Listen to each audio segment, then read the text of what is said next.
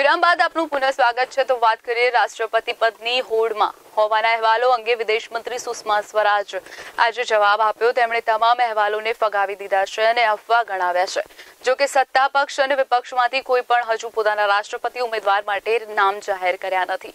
આ પદના દાવેદાર તરીકે સુષ્મા સહિત અનેક લોકોના નામ ચર્ચામાં છે.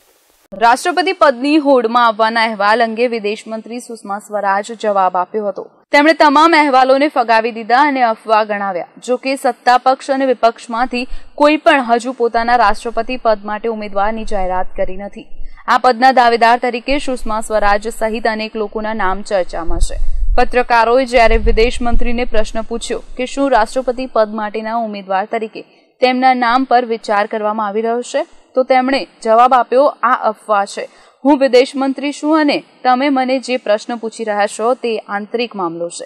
અત્રે જણાવવાનું કે રાષ્ટ્રપતિ પદની ચૂંટણી સત્તરમી જુલાઈએ યોજાવાની છે. રાષ્ટ્રપતિ પદ માટે નામાંકન દાખલ કરવાની છેલ્લી તારીખ અઠ્યાવીસ જૂન છે. ઉમેદવારો માટે ઉમેદવારી પાછી ખેંચવા માટેની છેલ્લી તારીખ પહેલી જુલાઈ છે. Bureau report, CN twenty four news.